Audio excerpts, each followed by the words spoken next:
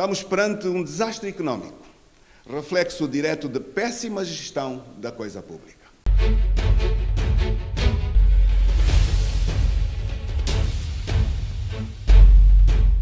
O coordenador-geral da Frente Patriótica Unida, Adalberto Costa Júnior, fez uma comunicação pública nesta quarta-feira, 10 de julho, em Luanda, sobre o real estado do país, onde considerou degradante e desesperador para os angolanos.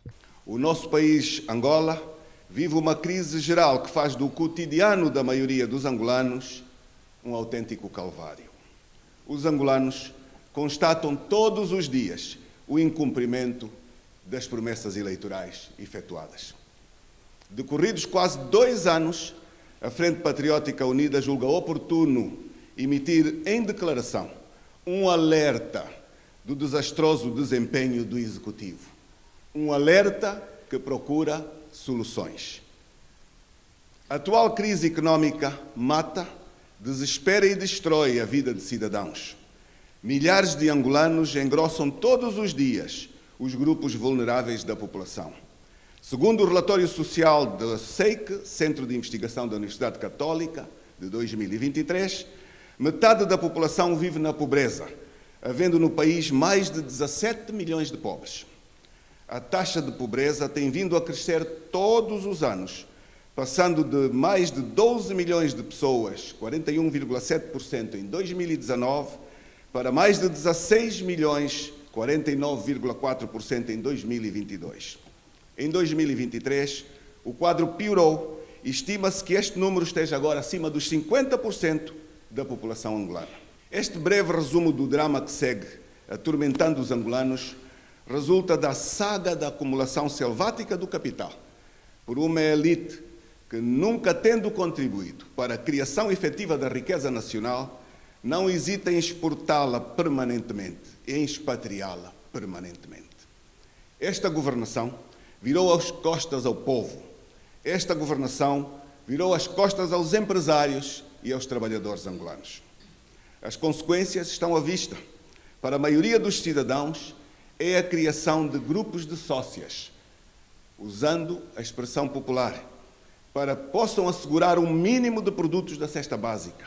Outro sim, as empresas são assaltadas e sufocadas pela AGT. O Executivo prioriza a construção de grandes hospitais para os cuidados terciários de saúde, negligenciando as pequenas unidades para os cuidados primários e esquece a construção de infraestruturas básicas necessárias a uma saúde pública que seja sustentável. No campo da educação, constata-se um deliberado esquecimento da importância do ensino primário, cuja consequência imediata é o contínuo aumento da iliteracia no país, causando imobilização nos subsistemas subsequentes. Face ao quadro econômico, a CJ referiu que o setor está apenas a serviço da elite, tendo como consequência a má gestão da coisa pública.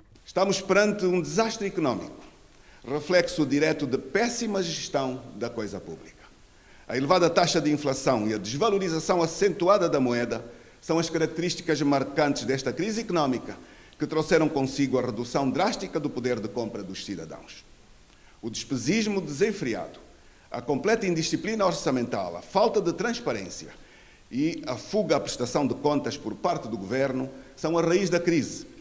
Longe de contribuir para a consolidação macroeconómica, a gestão desastrada da coisa pública impõe desequilíbrios macroeconómicos acentuados para os quais o executivo tem estado incapaz de encontrar soluções adequadas. De janeiro de 2023 a junho do corrente ano, o titular do Poder Executivo decidiu a arrematação de 95,4% de empreitadas e contratações públicas por ajuste direto. Eu repito, 95,4%, sem concursos públicos.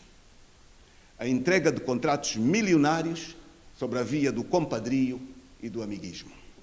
Adalberto Costa Júnior refere ainda que o país continua a ser de total subversão do Estado de Direito.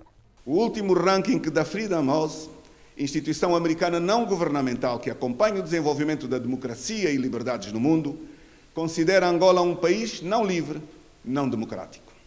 Da análise dos seguintes fatores, grau de transparência e liberdade na eleição dos órgãos de soberania, Executivo e Assembleia Nacional, grau de liberdade e transparência da legislação eleitoral e entidades organizadoras dos processos eleitorais, participação e pluralismo político, centralização versus descentralização administrativa, liberdades civis, liberdade de expressão, liberdade e direito de associação, confiança ou a credibilidade no sistema judicial, autonomia e liberdades individuais. Em 100 pontos possíveis, Angola obteve desastradamente apenas 28. Segundo o líder do maior partido na oposição, com comportamentos desviantes do regime, têm sido frequentes violações dos direitos humanos. Apesar da violência exercida sobre pessoas indefesas, os seus autores saem sempre impunes, indicando conivência com as autoridades policiais e judiciais, em vez de obediência estrita às leis. A comunicação social estatal está sequestrada e ao serviço exclusivo do partido no poder. O pluralismo e o contraditório não são permitidos. O chefe do governo foge aos debates. O chefe do governo foge às prestações de contas na Assembleia Nacional. A razão fundamental desta comunicação é partilhar com todos os cidadãos as reflexões da Frente Patriótica Unida em relação ao quadro político, social e econômico vigente.